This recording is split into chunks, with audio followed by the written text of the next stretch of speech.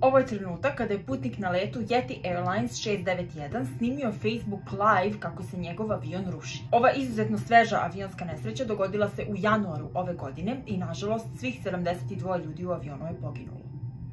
Yeti Airlines let 691 je redovan putnički let na ruti iz Katmandua za Pokharu u Nepalu. Let je trebalo da traje kratkih 25 minuta i ta posada je tu istu rutu odradila već nekoliko puta tog dana. Osim dva pilota i dve stewardese, u avionu se nalazilo 68 putnika. U središtu prvog oficira nalazila se Anju Kativada, koji je ovo bio kontrolni let pre nego što dobije status kapetana, tako da je ona upravljala avionom dok je kapetan Kamal nadgledao. Kao što su već nekoliko puta tog dana učinili, leteli su pravo pravo ka Pokhari već utvrđenom rutom, međutim ovog puta su zatražili promenu rute. U posljednjem trenutku kapetan Kamal zahteva da priđu aerodromu sa druge strane, što bi podrazumevalo da prelete preko grada, okrenu se i onda slete. On je to verovatno uradio kako bi dodatno testirao znanje prvoj oficirki pre nego što joj da da zasluži status kapetana. Morate da shvatite da su u ovim situacijama pravi izuzetno velika tenzija u kokpitu. I nije isključeno da je Anđu bila pod jako velikim stresom da uradi sve što je kapetan nalaže. A također je poznato da su se mnoge stravične avionske nesreće dešavale zbog sujete kapetana koji se nalazi na seniorskoj poziciji. Ali hajde da vidimo šta je ovdje zapravo pošlo po zlu i šta je zabeležila crna kutija gdje su nastavljeni glasovi iz pilotske kabine kao i parametri leta.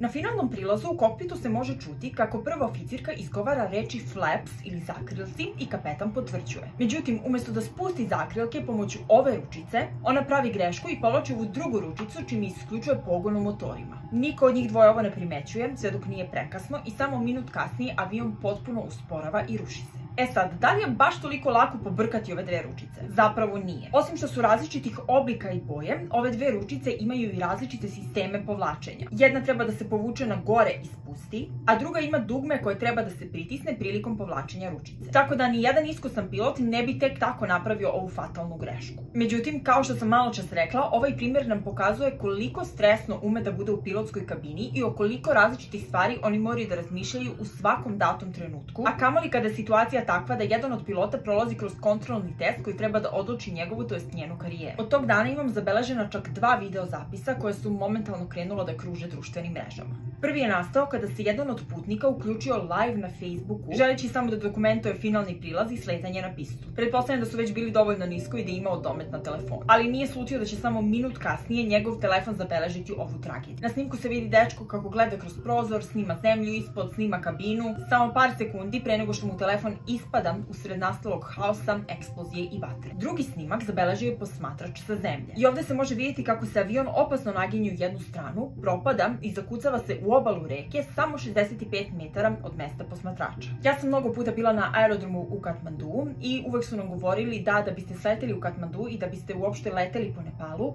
morate da imate specijalne dozvole i da piloti moraju da prolaze kroz specijalne treninge, jer je leteti u toj zemlji koja se nalazi na obrancima Himalaja izuzetno teško. Ali zato javio kompanije poput Yeti Airlinesa imaju neke od najviših brojeva zabeleženih avionskih nesreća. Naravno, ova kao i sve druge avionske nesreće dovode do uvođenja novih procedura u avijaciju, što danas aviosaobraćaj ipak čini jednim od najbezbednijih vidova saobraćaja. Naravno, kao i uvek, pišite mi u komentarima šta vi mislite o svemu ovome i vidimo se vrlo uskoro u nekom od narednih videa. Ćao!